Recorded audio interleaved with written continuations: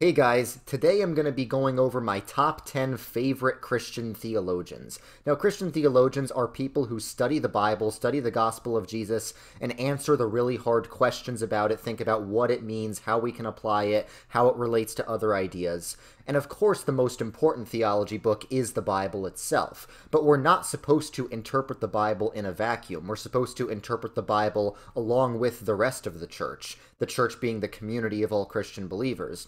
And not just the church here, right now in the 21st century, but the church throughout all the ages, throughout all these 2,000 years. So that's why it's important to know theologians from all different time periods. So in this list, some of these theologians are modern, some of them are ancient, some of them are medieval, some of them are pre modern early modern. You guys know what I mean. It's important for the church to interpret the Bible together. It's important to understand church history to see how the theology and proclamation of the church has evolved and developed over time. And by the way, this picture here is my church, my Presbyterian church. Okay, let's get started. So, the first theologian, my 10th favorite theologian, is N.T. Wright. He is the only one on this list who is still alive and he is, I think, a former bishop in the Church of England. Now, the Church of England does have a lot of problems, but N.T. Wright is solid. He is not theologically liberal. And that's what I always say. The mainline churches, more generally speaking, which includes the Church of England, also includes my denomination, they are largely hijacked by theological liberals, but not entirely. There's always a conservative minority, and N.T. Wright is part of that. So he is an Anglican. He's more of a Reformed Anglican. So theologically, he mostly agrees with the Reformed tradition, which I'm a part of but his main idea is about the gospel and interpreting the gospel in a first century context. When we think about the gospel, it's too often about going to heaven, about escaping this world and going to heaven. And he helps us understand that that's kind of a Gnostic view of the gospel. The Gnostics were these early heretics that were around the time of the early church who said this physical world is bad, and the point of Christianity is to escape the evil physical world and go to the good spiritual world. And a lot of times when we talk about the gospel as simply how do you get into heaven, it seems kind of Gnostic. So N.T. Wright says the purpose of Christianity is not about escaping this world and going to heaven, it's about heaven coming down to earth through the church. The gospel, if you read the Bible, the gospel is not defined as a theory, a method for going to heaven. The gospel is Jesus died for our sins and is bringing the kingdom of God. The kingdom of God means heaven is coming down to earth. Heaven is going to transform earth, and the new heavens and the new earth are not going to be something completely different than this world. It's going to be a redeemed and transformed version of this world right here and right now. And that's what we're going to live in forever. Now, N.T. Wright does not deny that when a Christian dies, their soul uh, lives on and is with God in heaven, but that's not the end of the story. Heaven is the intermediate state. Heaven is the waiting room. The final hope is not escaping to heaven, it's heaven and earth becoming one. So that's really what he is good about. And the book I'd recommend from N.T. Wright is the book On Earth as It Is in Heaven. That is the Lord's Prayer. The Lord's Prayer doesn't say, uh, May I go to heaven. It says, May God's will be done on earth as it is in heaven. That's the gospel. It is heaven coming down to earth and that is very important. N.T. Wright is really into kingdom theology, that the gospel is about the kingdom of God coming down to this world and transforming it. And the kingdom of God isn't going to be fully here until Jesus returns, but we live in what's called the already not yet. The kingdom is, in one sense, already here, so we're supposed to work to improve this world in anticipation of when Jesus comes back to make everything right. All right, number nine is Abraham Kuyper. Now, he is a Dutch theologian who lived around the turn of the 20th century.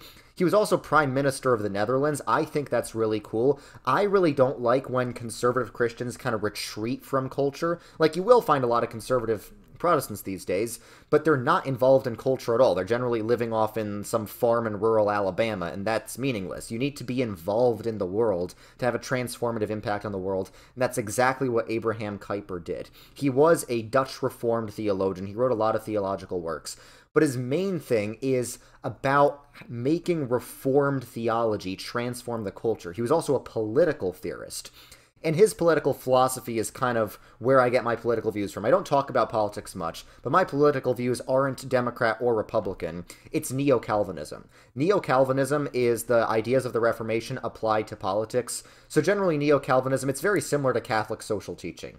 There's a lot of similarities between Catholicism and Calvinism that a lot of people don't understand. They're a lot closer to each other than both sides think. Basically neo Calvinism is more left wing when it comes to economics and more right wing when it comes to social stuff. So a neo Calvinist might support universal health care, but also completely be against any LGBT or abortion stuff. So that's neo Calvinism, but it's more than just about the policies you support. Abraham Kuyper really shows that Christianity in general, and Calvinism, Reformed Christianity specifically, has done more work to transform the culture for the better than anything else, uh, than any other religious tradition. So if you want to listen to something from Abraham Kuyper or read something, I would strongly recommend his Princeton lectures. Uh, he went to America, he went to Princeton Seminary and in New Jersey and gave these six really good lectures really showing how Calvinism improved the world. It, Calvinism improved everywhere it touched. And a lot of people ask me why I'm still a Protestant, given all the, the big mess that Protestantism is currently in right now, which it is. I'm trying to fix it. It's because um, Abraham Kuyper and a lot of other people can really demonstrate historically that Calvinism does a lot to improve culture. Calvinism has the biblical understanding of humanity and sin and responsibility. Uh, Calvinism has the strongest view of sin out of any Christian tradition, and that means it's also the most accurate view of sin because humans suck, in case you haven't noticed. So, yeah, Abraham Kuyper's great. Kuyperian theology means a theology where you believe the church's job is to transform the culture, as opposed to radical two kingdoms theology, which I strongly reject. Radical two kingdoms theology is taught by the Westminster Seminary in California, the Escondido School. And Radical Two Kingdoms theology says it's not the church's job to change the culture. And you'll have professors there like R. Scott Clark and Michael Horton and David VanDrunen. I actually kind of know some of those people personally, but I really don't like their theology. They're nice guys, and uh, a lot of uh, PCA people that I know actually went to seminary there, but I don't like their theology. It sucks. Kuyper is the way to go. All right, next up, number eight, we have John Williamson Nevin. Now, he's the only one on this list who is American. He's an 1800s theologian. He was from Mercersburg, Pennsylvania. Now, during this time, the most prominent Reformed Presbyterian theologian was Charles Hodge, and he did good work. Charles Hodge was good in arguing against, like, liberalism and stuff. But the problem with Charles Hodge is he had a very low view of the sacraments. Now, the Reformed view of the sacraments, the Calvinist view of the sacraments of baptism and communion, is that they are not just symbols. A lot of people think Protestants think the sacraments are just symbols. Maybe Baptists believe that. Maybe evangelicals believe that. But that's not what the Reformed tradition says. None of the, none of the Reformed confessions say that the sacraments are means of salvation, but only for those who have faith. So the difference between us and Catholics is that we we think the sacraments are only effective for those who end up having faith, meaning the elect. They're not effective for everyone. But even so, the Reformed teaching is that the sacraments are means of salvation. They are things God works through to save us. He doesn't need to work through them. He could and sometimes does work without them. So they're not absolutely necessary, but generally, they are the instruments God has set up to work out our salvation. Uh, so the reformers had a very high view of the sacraments, except there was this one guy, Charles Hodge, teaching at Princeton Seminary, who developed a very symbolic view of the sacraments and completely misinterpreted the Reformed view. So John Williamson Nevin was very good at arguing against that, very good at arguing that the truly Reformed view of the sacraments is a real presence view of communion, and he didn't talk about baptism as much, but it sort of implied that baptism also is really a means of salvation. So he wrote a book called The Mystical Presence, defending the truly Reformed view of the Lord's Supper, and this book this book is my favorite theology book ever outside the Bible. Better than any of the Reformed scholastic works I've read from like the 1600s. If you are going to read one theology book that is not the Bible, you need to read The Mystical Presence by John Williamson Nevin. I actually let me let me show you. Oops. Uh, I have a copy myself. This is my copy of The Mystical Presence. So yeah, you should read it.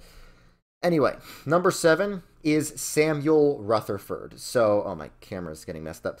So, I mentioned that I like uh, the mystical presence more than any Reformed scholastic work, and that's saying a lot because the period of Reformed scholasticism was actually very important. That was the period that came right after the Reformation. The Reformation was when the Reformers said a lot of stuff. The Reformers sort of went mining to uncover the gems of the of the biblical teachings. The scholastics they sort of took the raw materials that the reformers mined and they refined it. So they took those raw gold ore and refined it into like gold jewelry and stuff.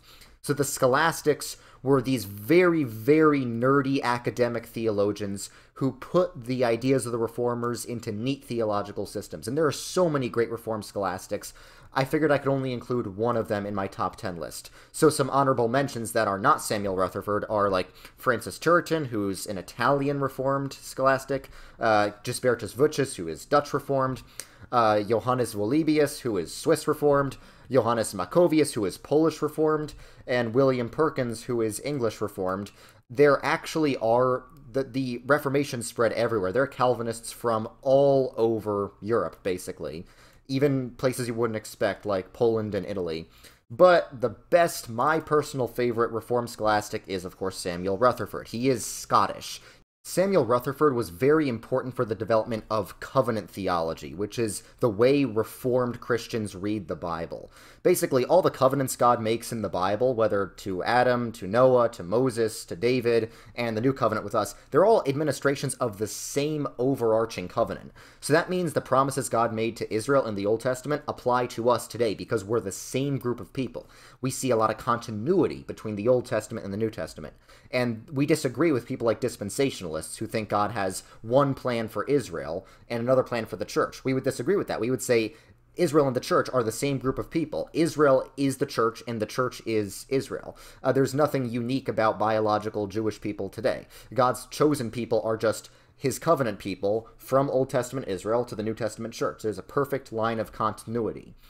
And the covenant of grace, God's covenant, is always salvation by faith. You are saved if you have faith in God's covenant promises. Now, why do we need the covenant of grace? Well, because we failed the covenant of works, which is a covenant God made with Adam and therefore with all of humanity, because Adam represents all of humanity. A covenant God made with Adam in the garden. It basically says, obey and live, disobey and die. We disobeyed, we all deserve to die, and God would be completely just in sending us all to hell because we deserve it. That's Calvinist Reformed theology.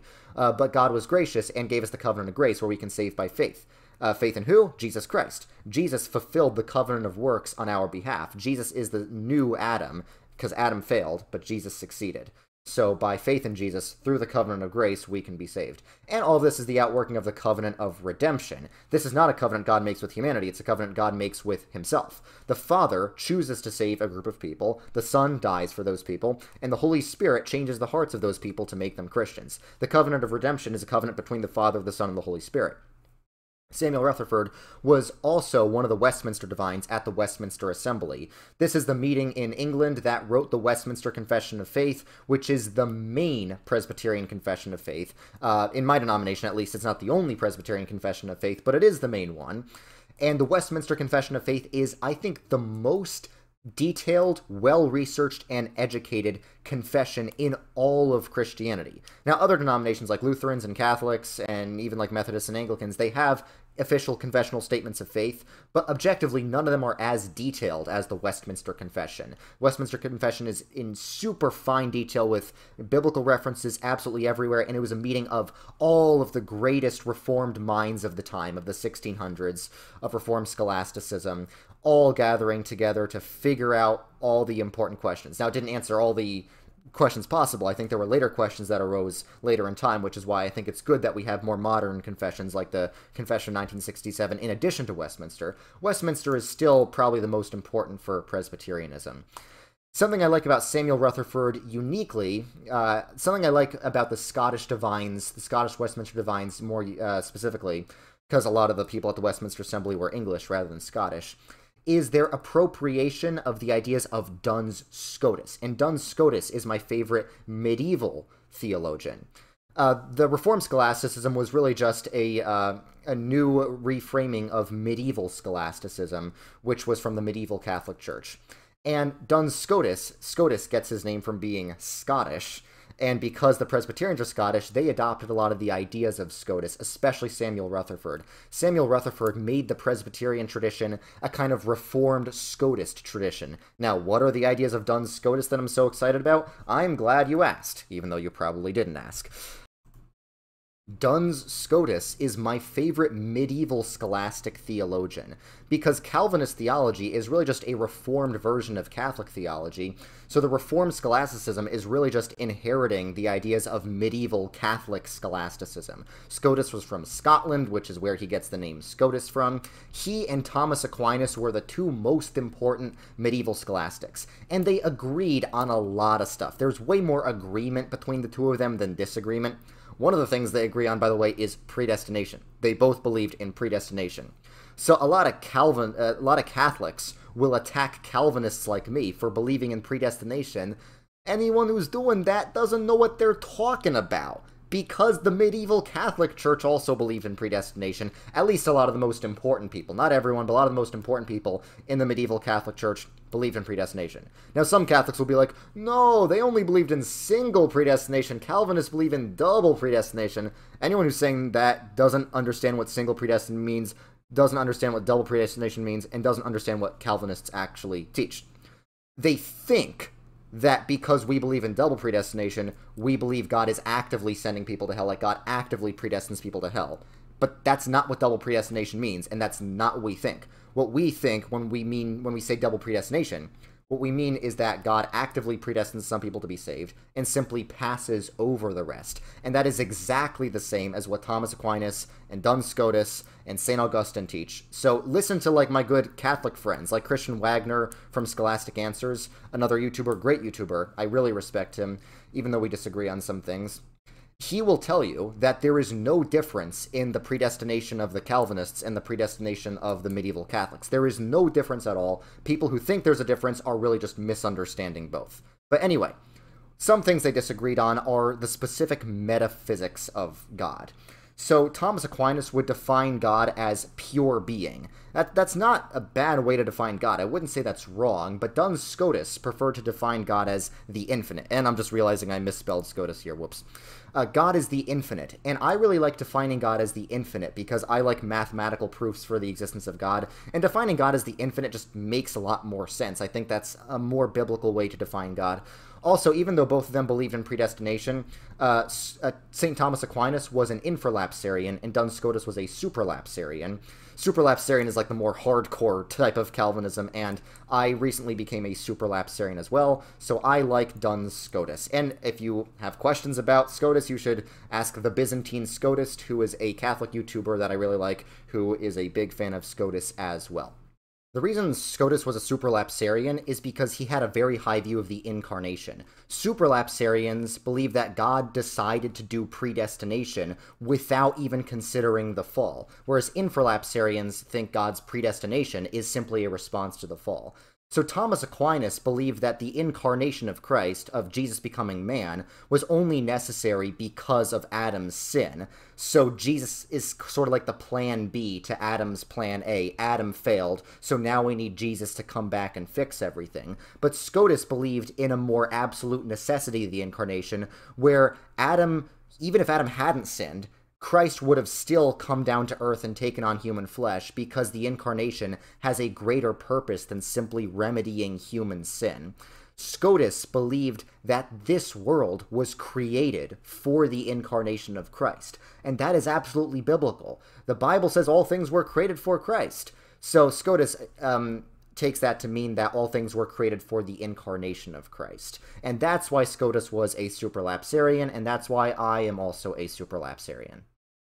Now, my fifth favorite theologian is also Scottish, and it is John Knox, the father of the Presbyterian Church in Scotland. Now, I wouldn't say he invented Presbyterianism. I think Presbyterianism comes from the earliest of the apostolic churches, but Presbyterianism gradually evolved into more episcopal system, and John Knox restored the church in Scotland to a more Presbyterian system, and he also applied the ideas of the Reformation. John Knox was a really, really great reformer and he wrote the Scots Confession, which is my favorite confession of faith. I mentioned that in my denomination, the PCUSA, we use the Westminster Confession, but not only the Westminster Confession, we also use the Scots Confession, which I personally like a bit better than the Westminster Confession of Faith. The Scots Confession is extremely clear that we do not believe the sacraments are just symbols. As John Knox says in the Scots Confession, and I have this part memorized, we utterly damn the vanity of those that affirm the sacraments to be nothing else but naked and bare signs. Assuredly, we believe that by baptism we are engrafted into Christ Jesus to be made partakers of his justice, by the which our sins are covered and remitted. So, yes. And John Knox was very, very fiery. Everything he writes, you can smell the passion in it. I love John Knox.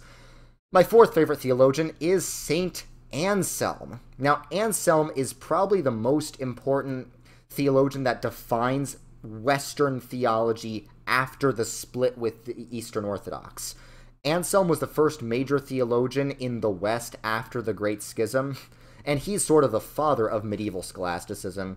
And he also thought of the ontological argument, which is one of my favorite arguments for the existence of God. It defines God as that than which nothing greater can be conceived. Either God exists or reality, in reality, or he only exists as an idea. But existing in reality is greater than existing as an idea. So, by definition of God, since God is defined as that than which nothing greater can be conceived, God must exist in reality, because existing in reality is greater than just existing as an idea. The reason I prefer this reasoning for understanding why God exists, the reason I prefer this over Thomas Aquinas's, like, argument from motion or causality, is Thomas Aquinas sort of starts from earthly things and reasons his way up to the heavens, Whereas Anselm starts with God himself. He grounds his reasoning for the existence of God in God himself. I think that's the most pious way to argue for it. Um, so yeah, Anselm is really great. Um, he's my fourth favorite theologian. Uh, Anselm's book Cur Deus Homo, about which means why the God Man, why Jesus had to be truly God and truly man. That is an excellent book. I highly recommend you read that. My third favorite theologian is well John Calvin. John Calvin is one of those geniuses that everyone tries to claim. Not everyone, obviously. A lot of different people try and claim they're following the ideas of Calvin. You know that someone was a genius if so many different groups that disagree with each other will try and claim they are following that person. So, like, I don't know, traditional Reformed scholastics, uh, traditional Presbyterian Covenanters, uh, Reformed Anglicans, Neo Orthodox theologians, they will all try and claim Calvin, and that really shows how brilliant he was. Uh, he preached in St. Pierre's Cathedral in Geneva, and he really reformed Geneva in such profound ways. Some people call him a Christian socialist because he basically eradicated poverty in Geneva. He said no one should be poor, applying that biblical principle and he really reformed education and law. He made Geneva a great place. The reason Switzerland is like such a prosperous, advanced society today is sort of because of the reforms that John Calvin made. So he wasn't just thinking through this theology in his head, he actually implied it, uh, applied it to help improve the world. So John Calvin's magnum opus is his Institutes. It takes a long time to read them, but I still actually I don't recommend you read this because it's great, but he says a lot of things that I'm sure most of you guys already know. If you would like to read it, you could read it, but you can learn Calvin's ideas without reading it. As someone who did read the whole thing, you don't need to read the whole thing. It's long. It's Calvin is not quite as skilled a writer as John Knox, even though his theology did have a more wide scope of influence. Now, my second favorite theologian is Augustine. What Calvin was really doing in the Reformation is really just bringing back the ideas of Augustine. Augustine also believed in predestination. Augustine's version of predestination was exactly the same as Calvin's. I would say that Duns Scotus's view of uh, predestination was a bit different than Augustine because Scotus was a superlapsarian, Augustine was an infralapsarian. But yeah, Augustine really defined the biblical doctrine of how salvation works over and against the Pelagian heretics. Pelagians were these heretics in the early church that denied original sin. Original sin teaches that from the moment of conception, we are sinners and we deserve hell. That means there is there are no innocent people aside from Jesus, of course. There are no innocent people. From the moment of conception, we are born in sin. We deserve hell. Pelagians were people who denied that. And a lot of people, including I'm sure a lot of you, are Pelagians. It's simply intuition. A lot of people, because of our sinful hearts, we don't like to believe we're sinful. Because of our pride, we like to believe that humans are basically good. Pelagius was sort of um, applying this Jewish idea of free will and humans being a blank slate. He was applying that to Christianity. But Augustine corrected it with the biblical teaching of original sin, which that from the moment of conception, from the time we are babies, we are sinners that deserve hell. And it's hard it's a hard pill to swallow, but Augustine is foundational for all of Western Christianity. Not just Calvinism, not just Protestantism, all of Western Christianity. That means Protestantism and Catholicism. So if you're Protestant or Catholic, you have to reckon with Augustine's ideas in some way. He was uh, from the Roman province of Africa. He's an African theologian, but his ideas extend to every part of the world that Western Christianity has touched, which I would say is the majority of the world. So uh, Augustine was massively influential. And the only theologian outside the Bible, of course, that I think is greater than Augustine, the number one goes to Athanasius. Athanasius is someone that every mainstream Christian tradition respects. We're talking Protestants, we're talking Catholics, we're talking Oriental Orthodox, we're talking Eastern Orthodox, we're talking the Assyrian Church of the East. Why is that? Well, because he was the hero of the Council of Nicaea. The Council of Nicaea made sure to clarify that Jesus is truly God, but the the Arian heretics, the heretics following Arius, still denied that Jesus was God. And Athanasius worked endlessly to defeat the Arian heresy. The Arian heresy was taking over the church, and Athanasius got exiled five times. Not once, not twice, five times for defending the truth against the heretics. If he had given up, we would all be Arians and we would all be going to hell. Now, of course, I don't believe God's providence would allow that, but you guys know what I mean, hypothetically. Athanasius is an example to all of us, no matter what kind of Christian you are, to never give up on fighting for truth. That's why everyone can appreciate Athanasius. He wrote so many works on why Jesus is truly God, equal with the Father. Now, I would also add Athanasius strongly believed in the filioque. Athanasius always says that the Son supplies the Holy Spirit. The Holy Spirit is from the Son. Athanasius describes the Spirit as being from the Son even more frequently than he describes the Spirit as being from the Father. I think that's worth noting.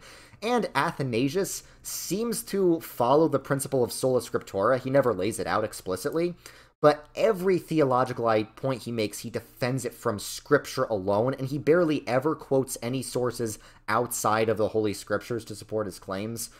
Um, so I love Athanasius. And another thing Athanasius teaches is that is theosis. Athanasius teaches that God became man so that man might become God. Now, become God does not mean we actually become God. We become what God is. Athanasius wasn't trying to say that. He was trying to say that we become partakers of divinity.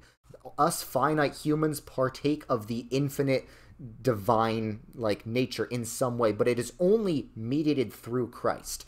Now, a lot of people think theosis is an Eastern Orthodox doctrine. Well, it is, but it's also just a Christian doctrine. All the major Christian traditions, including Calvinism, have a teaching on theosis. They just call it something different. Um, like you might read through Calvinist works and say, "Oh, I don't see theosis mentioned here." It's because they didn't use the word theosis. They used the word union with Christ. But if you read the works of John Calvin or John Owen or Samuel Rutherford, it is, it is dripping with theosis everywhere.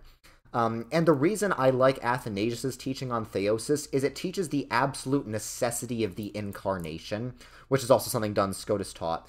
It means even if we didn't sin, the incarnation still would have had to happen for humanity to be divinized. And another reason Athanasius is an inspiration to me is because, as you guys know, I am fighting to retake my denomination, the PCUSA, from heretics. And a lot of people like J. Gresham Machen gave up on the PCUSA after getting punished by the denomination just once. But Athanasius was exiled five times, and he never gave up. So that should be an inspiration to all of us. Anyway, thank you guys for watching this. I hope you guys will learn something from this. And even if you don't agree with me, you will still be motivated to study theologians, to study the Word of God, and to study the things of God. So thank you all and have a great day.